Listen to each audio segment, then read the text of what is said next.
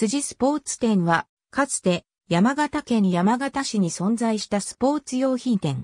1900年創業。1961年に法人改装を行っている。山形駅から約 1km の山形市の本町に店舗を構え、サッカー用品の専門店として運営していた。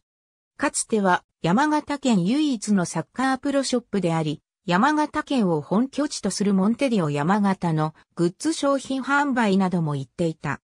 2002年に開催された日韓ワールドカップでは、レプリカユニフォームの販売が好調で、2003年は2億5500万円の売上高を計上している。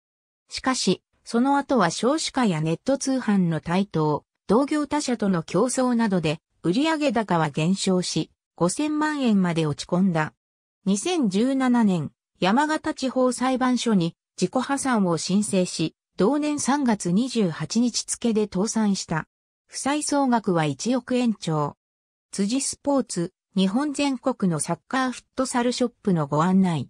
サッカーフットサルユニフォーム通販ボアコン本店。2019年6月25日閲覧。辻スポーツ店、山形市本町。駅店。2019年6月25日閲覧。山形、本町の辻スポーツ自己破産を申請。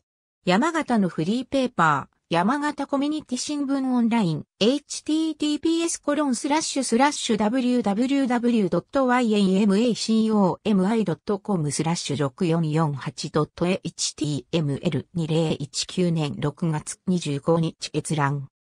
山形のスポーツ用品店、辻スポーツ店に破産決定国内倒産。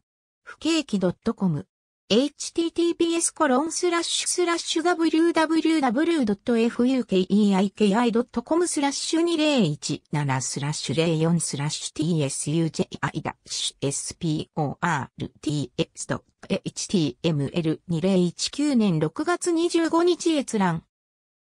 ありがとうございます。